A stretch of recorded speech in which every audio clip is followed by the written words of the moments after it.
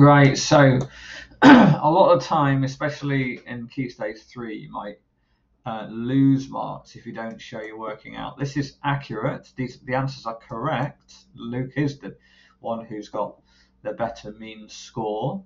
Um, but where do these numbers come from?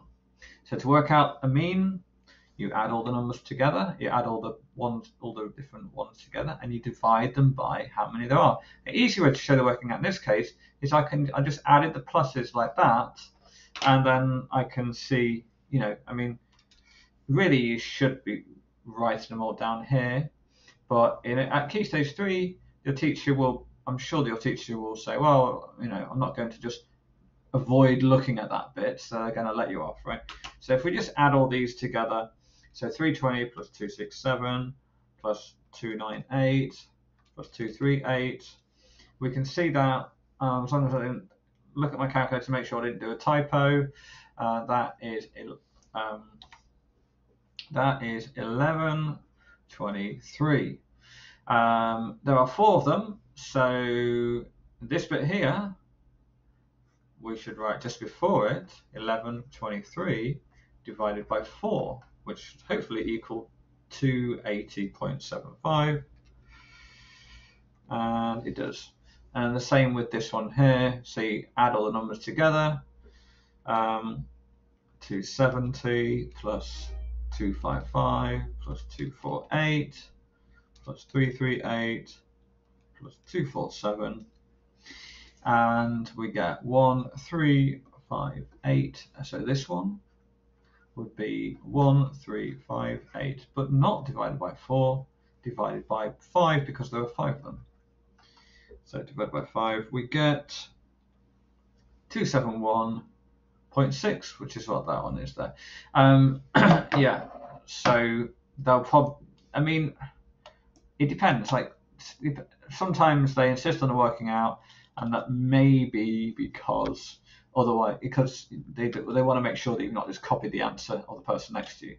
Whereas the, um, the whereas if you show you working out, it's a lot harder to show you copy the working out of somebody back next to you, more likely to write something down incorrectly.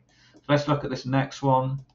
Um, Alice earns 450 per month. Um, she pays 200 pound per month in rent. So you can see already, just in my head, I can see what she's got profits of 250. But if I keep reading, I don't think I'll even need that information. Her wages will increase by 2%. Her rent will increase by 5%. So how do I do this calculation? Well, um, the wages increase, I'll probably just do the calculation right here so I can follow what I've done.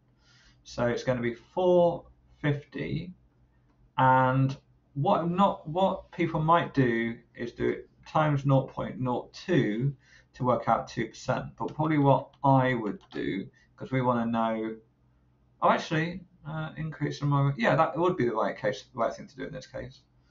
So we'll just, just see what her, how much is our wage increased by? So 450 times 0.02. So it's increased by nine uh, pounds. And then this one, uh, by the way, where did I get 0.02 from? Well, to turn a percentage into a decimal, you just divide it by 100. So 2% is equal to uh, 2 over 100, which is 0.02.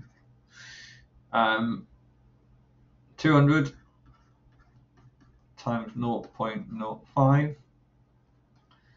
What's that? 200 times 0.05 is 10. So close.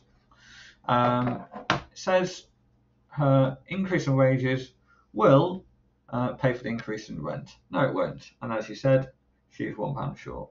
So yeah, so that would have probably, again, probably get the marks, but possibly you would have lost a mark because you didn't show this bit. I don't know what. yeah, yeah, yeah. You probably get away with it.